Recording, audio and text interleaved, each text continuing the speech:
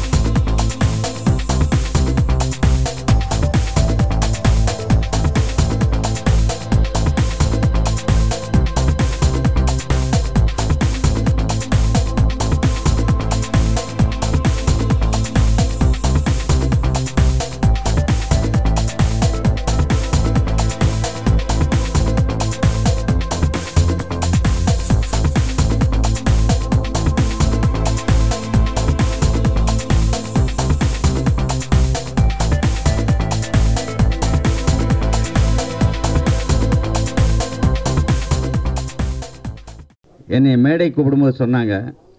ஒரு ஃபோனில் தான் கூப்பிட்டோம் சரின்ட்டாரு. இன்விடேஷன் கூட ஒழுங்காக கொடுக்கல வரலேன்ட்டார் பாவம் பொழப்பில்லாமல் இருப்பார் போல இருக்கு. உடனே எல்லாம் ஒத்துக்கின்ட்டாருன்னு அது இல்லை. ஏன்னா இந்த தொழில் நிலைச்சு நிற்கணும். எங்களை பொறுத்தவரை திரையரங்கள் வைத்திருக்கிறோம். எங்களுக்கு வார வாரம் நாங்கள் படம் காண்பித்தே ஆக வேண்டும். நாங்கள் இப்போ ப்ரொடியூசராக இருக்கோர் மூணு வருஷம் கூட படம் எடுக்காமல் இருக்கலாம் அஞ்சு வருஷம் படம் எடுக்காமல் இருக்கலாம் ஆனால் அவர் ப்ரொடியூசர் தான். எங்களை பொறுத்த வரைக்கும் வார வாரம் வெள்ளிக்கிழமைக்கு படம் போட்டாகணும் லைட் எரியணும் படம் பா காமிக்கணும். அதுக்கு எங்களுக்கு வருஷத்துக்கு தேவை நூற்றி இருபது படம். நூற்றி இருபது இடத்துல பெரிய டேரக்டர் பெரிய நடிகர்கள் நடிக்கிற படம் இருபது தான். மிச்சம் நூறு படம் இந்த சின்ன படங்க தான் எங்களை அதை காப்பாற்றுது அதனால் சின்ன பட தயாரிப்பாளர் எங்கே கூப்பிட்டாலும் உடனே நான் வந்துடுவேன் ஒழுங்காக முறையாக கூப்பிடலன்னு பரவாயில்ல. ஏன்னா இந்த சின்ன படங்களுக்கு பொதுவாக என்னை கூப்பிடுறதெல்லாம் விஜய் முரளி.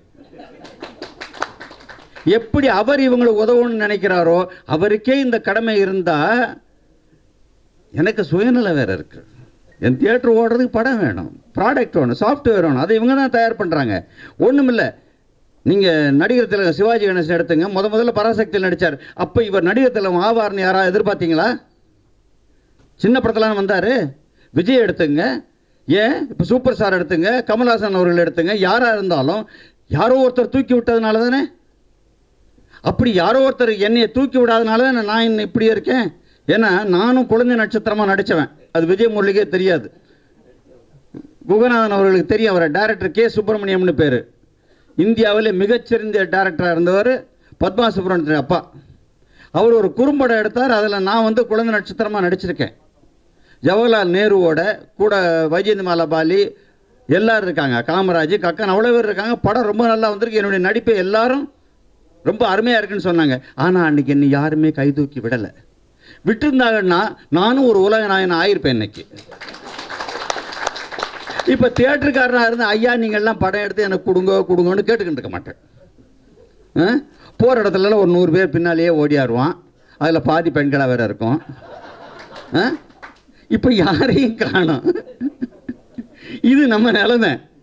அதனால் தூக்கி விடணும் உங்களை இந்த சின்ன படங்களை தூக்கி விடணுங்கிறது தான் என்னுடைய எண்ணம். அதற்காகத்தான் நான் வர்றேன். பெரிய தே- பெரிய படங்களுக்கு கூப்பிட்டால் சில சமயம் நேரம் இருந்தால் போவேன் சில போக மாட்டேன். ஆனால் இதுக்கு கண்டிப்பாக வந்துடுவேன் ஏன்னா உங்களை தூக்கி விடணும் ஏன்னா நீங்கள் எங்களுக்கு தேவை.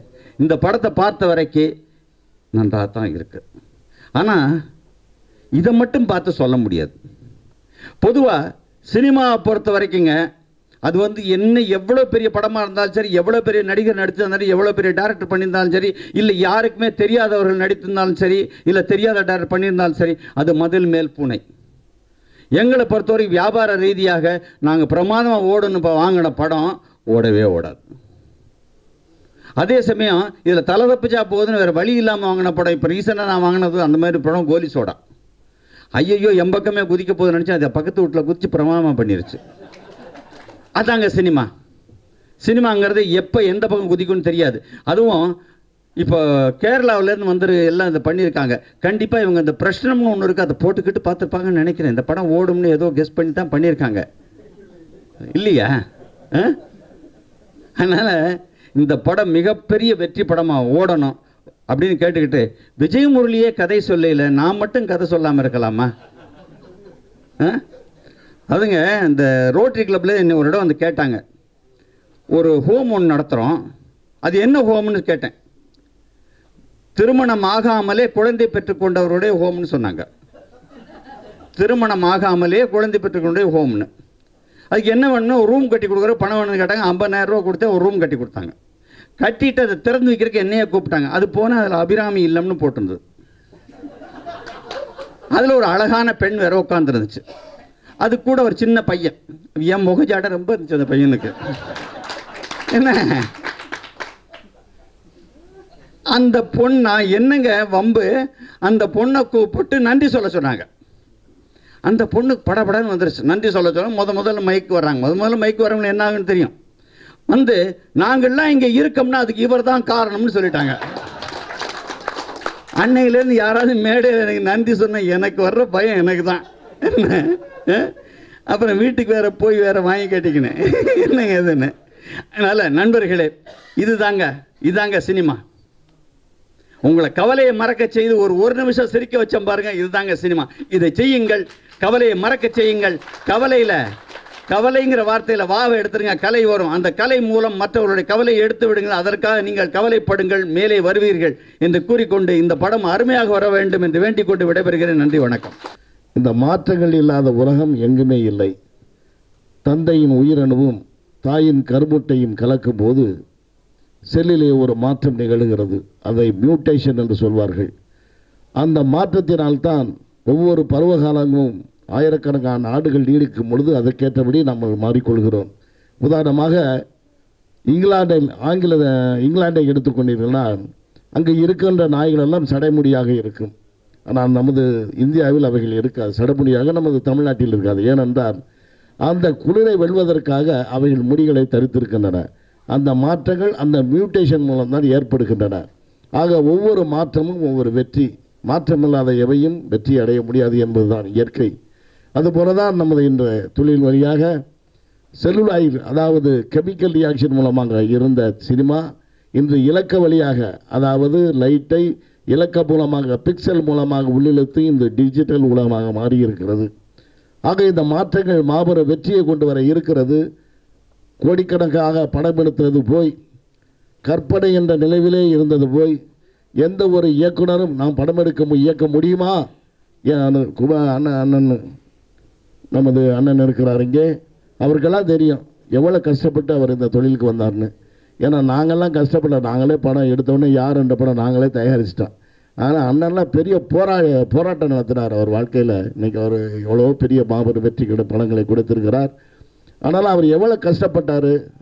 ஒரு படம் எடுக்கிறது அது இப்போ இல்லை. யார் நினச்சாலும் ஒரு படம் எடுக்கலாம். யார் நினச்சாலும் அவர் அண்ணன் யார் நினச்சாலும் ஒரு பேர் எடுக்கலாம் படம் எடுக்கலாம். யார் நடிக்கலாம் இயக்கலாம்.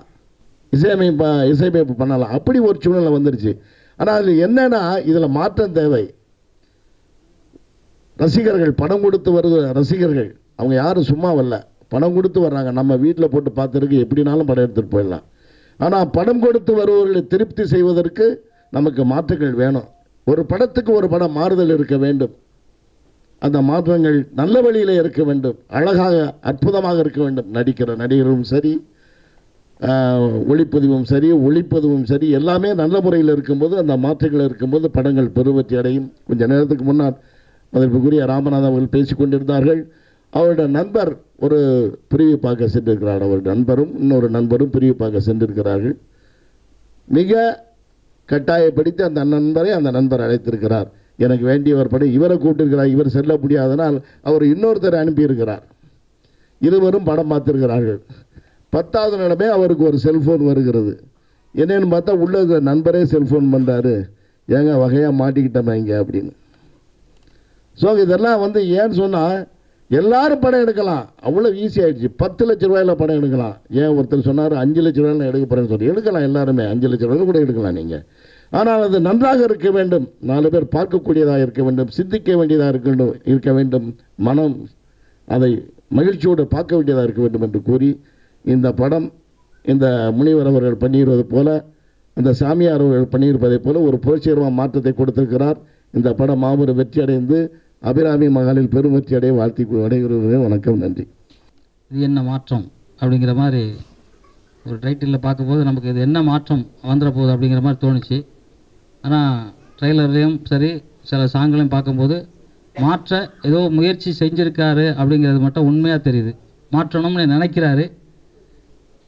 எல்லாரும் மாறணும் அப்போ தான் மாற்ற முடியும். ஏன்னா அதில் கூட நம்ம வந்து மாற்றணும்னு நினச்சா கூட அதில் வந்து ஒரு பொண்ணுங்க தண்ணி அடிக்கிற மாதிரிலாம் சீன் வைக்க வேண்டிய சூழ்நிலையில் தான் இருக்கிறோங்கிறது தெரியுது. நான் நேற்று வரும்போது தான் சொன்னேன் ஐயா வீசுகோன் ஐயாக்க சொல்லிட்டு வந்தேன். அஞ்சு ஏழு பொண்ணுங்க தண்ணி அடிச்சுட்டு நேற்று பன்னெண்டு மணிக்கு கட்டி உருண்டுக்கிட்டு இருக்காங்க மவுண்ட் ரோட்டில் இந்த மாதிரி கலாச்சாரம் மாறிக்கிட்டு இருக்குது. அதை மாற்றுறதுக்கு புரட்சித் தலைவர் எம்ஜிஆர் மாதிரி ஒரு ஆள் வந்தால் தான் முடியும். ஏன்னா அவர் தான் தாயை பற்றி சொன்னார். தண்ணி அடிக்கக்கூடாது சொன்னார் சிகரெட் குடிக்கக்கூடாது சொன்னார். அதை கேட்டாங்க மக்கள் கேட்டாங்க. இப்போ அது கேட்குறக்கு ஆள் இல்லை. ஏன்னா சொல்கிறதுக்கு தகுதியான யாரும் இல்லை அப்படிங்கிற மாதிரி தான் உண்மை அது. புரட்சித் தலைவர் திருப்பி வந்து பிறந்தால் தான் அந்த மாதிரி ஒரு நிகழ்வுகள்லாம் நடக்கும். இந்த மாதிரி நம்ம எவ்வளோ சொன்னாலும் மாற்றங்கள் மாற்றங்கள் மாற்றங்கள்னு சொன்னாலும் எல்லாருக்குமே வயிறு எல்லாமே ஏமாத்துறாங்க. இதில் ஒரு சாங்கில் வருது எல்லாத்துலேயுமே விஷம். அதாவது இன்றைக்கி ம உணவே மருந்துங்கிறது தான் நமக்கு ஒரு தமிழ்நாட்டில் தமிழன் கண்டுபிடிச்சது. ஆனால் அன்றைக்கி உணவே விஷம் ஆயிடுச்சு அந்த விஷத்தை என்ன பண்ணுறது எப்படி எடுக்கிறதுங்கிறது தெரியல. எல்லாமே அப்படி எல்லாமே விஷம் விஷம் விஷமாகிக்கிட்டே இருக்குது. ஏன்னா இன்னைக்கு அவங்க சம்பாதிக்கிறதுக்காக போடுற விஷம் நாளைக்கு அவங்க சந்ததியே இல்லாமல் போகிறதுக்காக ஒரு விஷம் பண்ணிக்கிட்டு இருக்காங்க. அந்த விஷத்தை எப்படி குறைக்கணுங்கிறதுக்கு ஒரு கதை சொல்லியிருப்பாரோ அப்படிங்கிற மாதிரி எனக்கு தோணுது. அப்படி சொல்லியிருந்தாருன்னா அது பாராட்ட தமிழக தமிழக மக்களில் உலக மக்களே பாராட்டுற ஒரு விஷயமாக தான் இருக்கும். எல்லாருக்குமே அந்த ஏக்கம் இருக்குது. எப்படி சொல்கிறது என்ன இப்படி பண்ணிக்கிட்டு இருக்காங்களே? எல்லாருக்கும் ஒரு புரட்சி தலைவர் எம்ஜிஆர் மனசு மறைஞ்சிக்கிட்டு இருக்காரு கொப்பளிச்சிக்கிட்டு இருக்காரு. எல்லாரும் என்ன பண்ணலாம் அப்படின்ட்டு. அந்த மனசு வந்து எல்லாமே வந்தாக்க நிச்சயமாக இது என்ன மாற்றம்ங்கிறது கண்டிப்பாக மாற்றம் வரையும் படமும் இப்போ பார்த்தோம் ரொம்ப ரொம்ப நல்லா இருந்துச்சு. இந்த பாடல்களும் ஒரு ஒரு பாடலும் ஒரு ஒரு வித்தியாசமான பாடலாக இருந்துச்சு. இந்த பாடல் அனைத்தும் மக்கள் மனதில் போய் சேர்ந்து மிகப்பெரிய வெற்றி அடையணும். என்னுடைய வாழ்த்துக்களையும் நன்றி நான் தெரிவிச்சுக்கிறேன். நன்றி வணக்கம். இந்த படம் ഉം, എല്ലാവർക്കും നല്ലൊരു മെസ്സേജ് ആയിരിക്കും എല്ലാവരും പടം പാക്കുക ഉം, കേരളം എന്ന് പറയുന്നത് തമിഴ് ശരിക്കും അറിയാൻ മേല ഉം, എല്ലാവരും പടം ഉം, പാക്കുക சப்போர்ட் ചെയ്യുക விஞ்ஞானமும் ஆன்மீகமும் இங்கே எப்படி ஒட்டிச்சதுன்னு எனக்கு தெரியல ஏன்னா ஆன்மீகம் இப்போ சுவாமி இருக்காரு ஆன்மீகம் வந்து அதில் அந்த பாட்டிலேயே ஒரு வரி வருது எத்தனை எண்ணங்களை சின்ன இதில் அடைச்சி வச்சாலும் அந்த எண்ணங்களெல்லாம் அதுக்குள்ளே நிற்கிறது இல்லைன்னு கண்ணை மூடிக்கிட்டு பார்த்து நாம் சொல்லுவாங்க. தியானம் பண்ணணும்னா கண்ணை மூடிக்குங்கன்னு சொல்லுவாங்க. எல்லா குருஜியும் சொல்லி கொடுக்குறது முதல்ல தான் ஆனால் கண்ணை மூடினா நமக்கு ஒன்று தான் தெரியுதான்னு கேட்டால் இல்லை. எண்ண அலைகள் வந்து கொட்டும். கொட்டிக்கிட்டே இருக்கும். அப்போ அதை தடுத்து நிறுத்தணுமா வேண்டாமான்னு கேட்டால் ஒவ்வொரு சுவாமிஜியும் ஒவ்வொரு விதமாக சொல்கிறாங்க தடுத்து நிறுத்தாதீங்க. எண்ண அலைகள் வரட்டும் போயிட்டு இருக்கட்டும்னு சொல்கிறாங்க சரி இப்படியே எண்ண அலைகளை மட்டும் பார்த்துக்கிட்டு இருந்தவன் இருந்திருந்தால் இன்னைக்கு இந்த படம் எடுத்தாங்களே இந்த சினிமா இத்தனை ஃப்ரேம்ஸு அவர் சொன்ன மாதிரி டிஜிட்டல் இது இதெல்லாம் இந்த விஞ்ஞானத்தை கண்டுபிடிச்சவன் இருக்கானே. அவன் சும்மா இருந்திருந்தா அல்லது இவன் சும்மா இருந்திருந்தா எவ்வளோ பிரச்சனையாக இருக்கும்னு யோசனை பண்ணி பாருங்கள் அவன் சிந்திச்சு சிந்திச்சு சிந்திச்சு கண்டுபிடிச்சது தான் சினிமா. விஞ்ஞானத்தில் உட்காந்து கண்டி கண்டுபிடிச்சது சினிமா. ஆன்மீகத்தில் உட்காந்து இன்னைக்கு நம்ம சினிமாவை வந்து அதுக்கு பயன்படுத்த முயற்சி பண்ணுறோம் இதுதான் அதில் போட்டப்பட்ட லைனுன்னு நான் நினைக்கிறேன். சயின்ஸ் ப்ளஸ் ஸ்பிரிச்சுவல்னு போட்டாங்க. விஞ்ஞானமும் ஆன்மீகமும் சேரும்போது அதனுடைய இது மனித சமுதாயத்துக்கு மாபெரும் சக்தியை கொடுக்கும் என்பதுதான் அவர்கள் சொல்ல நினைத்திருப்பது. அந்த மாற்றம் நிச்சயமாக படம் பார்க்கின்ற போது சாதாரண ரசிகனுக்கு எந்த ஏமாற்றத்தையும் கொடுக்காது என்ற அளவுக்குத்தான் இந்த படம் இருக்கிறது என்று நினைக்கிறேன். ஒரு சாதாரண ரசிகனாக இந்த படத்தில் ஒரு பாட்டை பாடியிருக்கார் ஒருத்தர். அந்த பாட்டு நம்ம கண்டசாலா சார் அவருடைய குரல் மாதிரி இருந்துச்சு. கொஞ்சம் அந்த சாயல்ல இருந்தது அந்த பாட்டு நல்லா இருந்துச்சு. அந்த பாட்டு நல்லா இருந்துச்சு. அந்த பாட்டில் தான் அந்த வேதாந்தம் சொல்லப்பட்டிருந்தது. இப்போ பல விஷயங்களை நம்ம படிச்சுக்கிட்டு வரும்போது நம்ம ஆன்மீகத்தில் உள்ளே போனோன்னா எதை கண்டுபிடிக்க போகிறோம் அங்கே சொல்கிறாங்க உணவு வகைகளில் இப்படி இருந்துச்சு ஆனால் இப்படி ஆச்சு இப்போ விஷமாச்சுன்னு சொல்கிறாங்க ஆனால் அதே நேரத்தில் பணத்தை பற்றியும் பாசத்தை பற்றியும் பேசுகிறாங்க பணத்தை பற்றியும் பாசத்தை பற்றியும் பேசுகிறாங்க ஆன்மீகத்தை பற்றி பேசுகிறாங்க விஞ்ஞானத்தை பற்றி பேசுகிறாங்க உணவு வகைகளை பற்றி பேசுகிறாங்க இடையில இந்த ஸ்டேட்டுக்கு முதல்வராக வரக்கூடிய அதாவது முதல் நாற்காலியில் அமரக்கூடிய ஆள் என்ன கேட்டு தான் பண்ணணும்னு சொல்லி ஒரு கூட்டம் சொல்லிட்டு இருக்கு. ஆக இதுக்குள்ள எவ்வளவோ விஷயங்களை தெளிவுபடுத்த முயற்சி பண்ணுறாங்க ஆனால் சினிமாவில் என்ன விஷயம்னா ஒரு விஷயத்தை தெளிவுபடுறதுக்கே ஒரு பன்னெண்டாயிரம் அடி பத்தாது.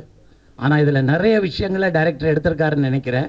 ஆனால் அவருடைய சாமர்த்தியத்தினால அவருடைய கட்டிக்காரத்தனத்தினால அதை வந்து தெளிவாக சொல்லி முடிச்சிட்டாருன்னா நிச்சயமாக இது ஏமாற்றத்தை தராமல் பெரிய வெற்றியை தரும். ஏன்னா இந்த சப்ஜெக்டை நிறைய பேர் தொடரல. இந்த ஆன்மீகத்தையும் விஞ்ஞானத்தையும் சேர்த்து சொல்கிற விஷயத்த நிறைய பேர் தொடரல. இதை தொட்டிருக்காங்க. அது மட்டும் இல்லாமல் அவங்க ரத்னவேல் பாண்டியன் அவங்க சொன்னாங்க அந்த சுவாமிஜி இன்னமும் அங்கே இருக்கார் கேரளாவில் இருக்கார் அவர் மலையில் தான் வாழ்கிறாருன்னு சொன்னாங்க. ஸோ அப்படிப்பட்ட ஒருத்தருடைய உதவியோடு தான் இது நடந்திருக்கு.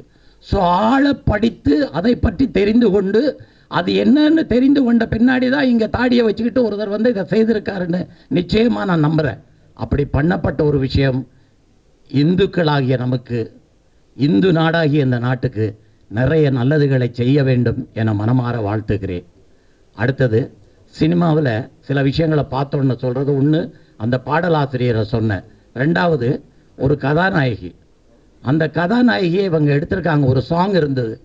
நான் ஒரு படம் எடுத்தேன் பேரை சொல்லாமல் சொல்கிறேன் ஒரு படம் எடுத்தேன். அந்த படத்துக்கு ஒரு குறிப்பிட்ட அளவில் ஒரு கதாநாயகி தேவை. அப்படி ஒரு கதாநாயகியை பள்ளிக்கூடத்தில் கண்டுபிடிச்சோம். கொண்டு வந்து டெஸ்ட் எடுத்து ஏவிஎம் செட்டியாருக்கு போட்டு காட்டினேன்.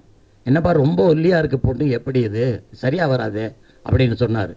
ஆனால் அந்த பொண்ணுடைய பார்வையும் அந்த பொண்ணுடைய நடிப்பும் அந்த பொண்ணு அந்த கதாபாத்திரத்துக்கு பொருத்தமாக இருந்தாங்க.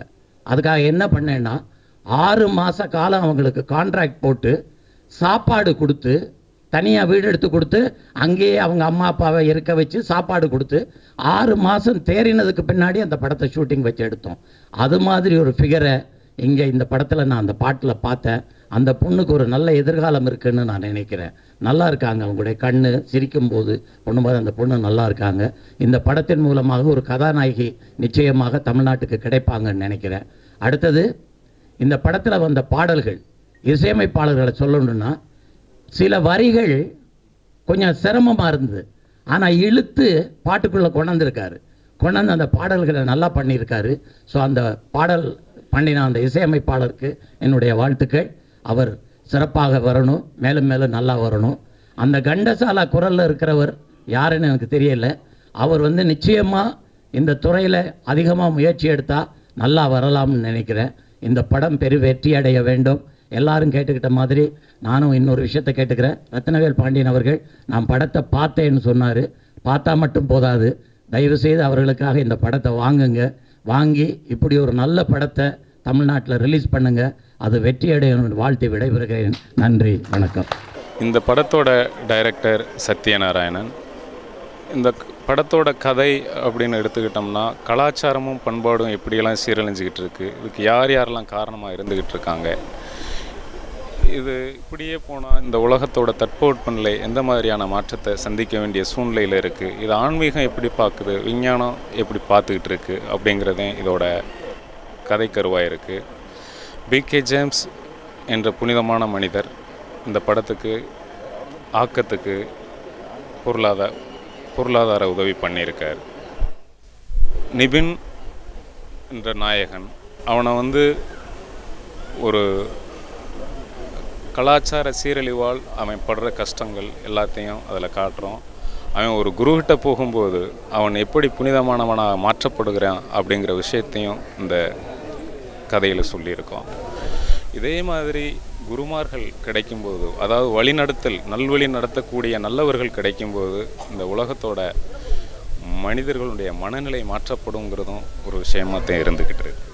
அதைத்தான் இதில் சொல்லியிருக்கேன் என்னோட நேம் சீமா. நான் இதே என்ன மாற்று மூவியில் பண்ணிகிட்ருக்கேன் எனக்கு இந்த மூவியில் வாய்ப்பு கொடுத்த சத்யநாராயண் டேரக்டர் சாருக்கு ரொம்ப தேங்க்ஸ் நான் இதில் வந்து ஒரு குட்டி ஏஞ்சல் ரோல் பண்ணியிருக்கேன். எல்லாருக்குமே கண்டிப்பாக பிடிக்கும். மூவி நல்லா வந்திருக்கு. எல்லோரும் பாருங்கள் பிகைண்ட் ரூட்ஸ் சேனல் நேயர்களுக்கு வணக்கம். நான் சரத் பிரியதேவ். இது என்ன மாற்றம் திரைப்படத்தின் இசையமைப்பாளர் பேசுகிறேன். இந்த படம் ஒரு சமுதாய சீர்திருத்த படம். அதாவது சமுதாயத்தில் நடக்கின்ற சீர்கேடுகள் அவலங்கள் இதை வந்து எப்படி நம்ம மாற்றுறது எப்படி விஞ்ஞானம் வந்து சீ சீரழிவை நோக்கி உலகத்தை கொண்டு செல்கிறது? இந்த மாதிரி ஒரு கருத்துள்ள ஒரு படம்.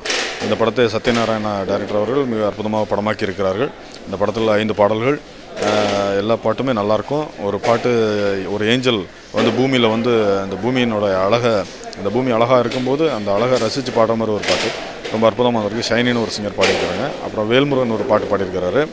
அந்த பாட்டு குத்துப்பாட்டு ஸ்டைல் அதாவது தண்ணி அடிச்சுட்டு ஜாலியாக பாடுற மாதிரி ஒரு என்டர்டெயின்மெண்ட் சாங்கு அப்புறம் ஒரு சோக பாட்டு இருக்குது. இந்த சோக பாட்டு அப்படின்னா கம்போசிங் டைமில் நான் பாடி காட்டும்போது டைரக்டருக்கு சார் இந்த வாய்ஸே நல்லாயிருக்கு சார். நீங்களே பாடுங்க அப்படின்னாரு. அதனால் நானே பாடிட்டேன் அந்த பா பாட்டை. ஒரு நல்ல பாட்டு. அப்புறம் வந்து ஒரு தத்துவ பாட்டு ஒன்று இருக்குது. இந்த பாட்டு வந்து ராம்னு ஒரு சிங்கர் பாடியிருக்கிறாரு. இதுவும் ரொம்ப நல்லா வந்திருக்குது. ரொம்ப அற்புதமான பாட்டு. அப்புறம் வந்து இந்த படத்தோட ஆர்ஆர் ரொம்ப நல்லா வந்திருக்குன்னு எல்லாருமே பாராட்டினாங்க. அதாவது இந்த எரிமலை வெடிக்கிறது இந்த மாதிரி சுனாமி இந்த மாதிரி இயற்கை சீற்றங்கள் இந்த மாதிரி நல்ல விஷயங்களெல்லாம் படமாக்கியிருக்கிறாங்க. ரொம்ப நல்லா வந்திருக்குது படம். இந்த படம் யூ சர்டிஃபிகேட் படம். குழந்தைகளோடு குடும்பமாக சென்று பார்க்க வேண்டிய படம். இந்த படத்தை எல்லோரும் பார்த்து வெற்றி படமாக்க வேண்டும் என்று கேட்டுக்கொள்கிறேன். நன்றி வணக்கம்.